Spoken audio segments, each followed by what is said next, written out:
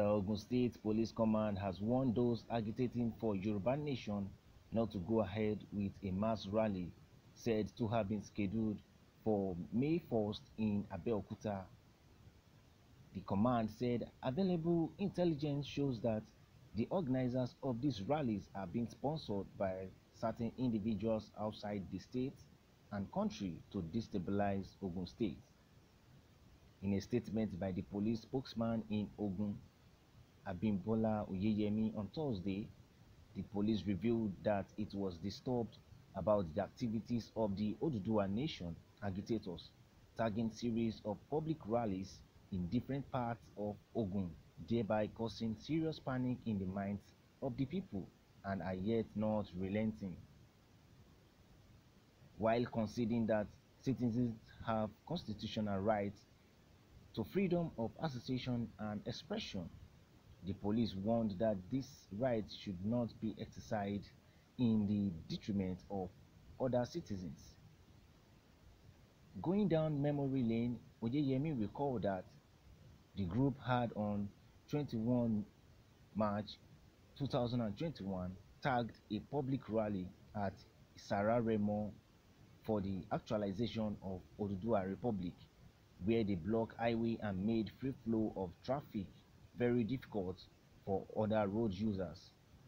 The same group tagged another rally in Shagamu on the 16th April 2021, where they made an attempt to attack Shagamu police station for no reason. Yet on 25th of April 2021, they held another rally at Ajuwon, wherein the because of stopping them from disturbing inciting letters, policemen and other security agents were jeered at the pelt with missiles.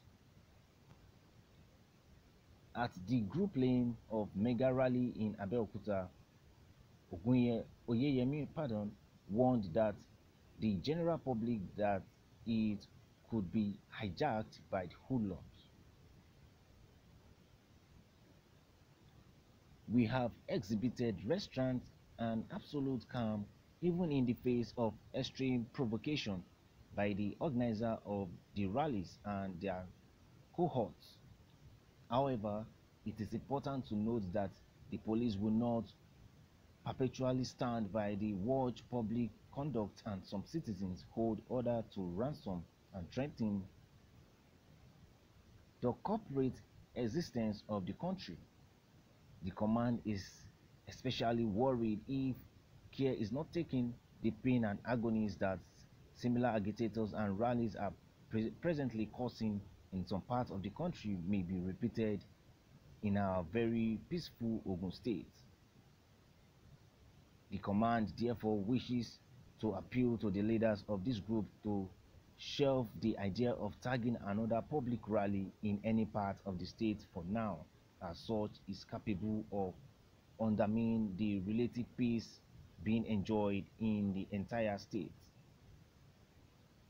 Consequently, the rally slated for Abeokuta on 1st May 2021 is viewed by the command as one too many in the state and therefore not approved. Parents and guardians are hereby advised to warn their children and wards not to be involved in any such gathering that may expose them to violence and consequently bring them on a collision course with the security agencies. The understanding and cooperation of all the good people of Ogun State, including the organizers of the rallies, is hereby solicited by the command and will be highly appreciated. Please. We can now see concerning the Oduduwa Republic police ban Yoruba Nation rally in Ogun State because they said it would disturb the peaceful Ogun State. If you could recall, just as Oyeyemi has said, that this group had on 21st of March 2021 tagged a public rally at Sarah Remo for the actualization of Oduduwa Republic, where they block highways and make uh, free flow of traffic very difficult for other road users. This same group tagged another rally on the 16th of April. That same group also tagged another rally on the 25th of April. Now they are planning on tagging another rally on 1st May. These rallies are too much and the state police are, you know, complaining about this and they are banning the one they have scheduled for May 1st, 2021 in Ogun State. Well, haven't heard this. Let's see people's reactions and know their thoughts about what we have just heard. Nipoli said, but they allow rallies in support of Pantami in the north. These people are hypocrites. Why are they not allowing the Yoruba nation to do their rally in Ogun State peacefully? That is a comment from Napoli, who is saying that these people are hypocrites during the time people want to rally to support Pantami, they were not disturbed, there were no any form of ban against them. So why is it that when it comes to Yoruba nation, there is ban? That is what Napoli is saying. Well, that is one point of view and reaction to what has been heard. Well, let's move further and see what other people have to say about this.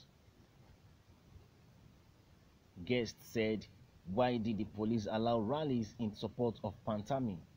Why did the police intelligence not uncover all the atrocities committed by Fulani headers against the indigenous community all over the country? This goes to show that instead of the Nigerian police force, what currently operates in Nigeria is Fulani police force against the indigenous peoples of Nigeria. That was a comment from guest who is saying, why did the police allow rallies in support of Pantami? People rally in support of Pantami and they were not disturbed. There were no any form of ban against them. Why is it that in the turn of Yoruba nation there is ban? That is what guest is saying and if stressed more to say that why did the police intelligence not cover all the atrocities committed by Fulani headers against the indigenous community all over the country. This shows that instead of having Nigerian police force, what currently operates in Nigeria now is the Fulani police force against the indigenous people of Nigeria. What is your say to this? What is your contribution? What is your reaction to what has been heard? We would like to see your comment and reaction to this Thank you guys for listening. Do subscribe to this channel if you have not and I'll see you on the other news. Bye for now.